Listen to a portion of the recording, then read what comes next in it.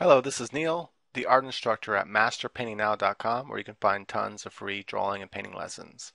Right, so here's a quick uh, 3D drawing I did and it's called an uh, anamorphic 3D drawing.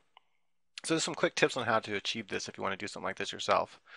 Uh, one is you can set up your webcam like I did um, to your laptop and you look at the webcam being present. You don't record with the webcam. You're just looking at it for reference. So you look at the image being portrayed on, or, or being on put on your screen that the webcam's recording, and you use that to determine where all the features are going to be. So just do a couple, you know, sketches.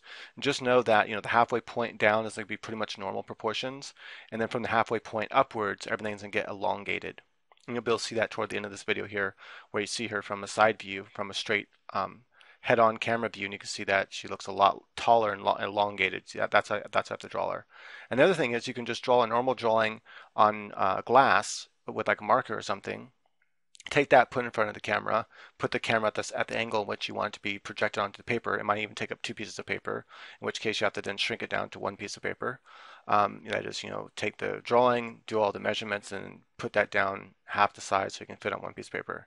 And just make sure your camera is still at the same angle so that it, it views it correctly. You can only view it at one angle to, to, where it looks 3D.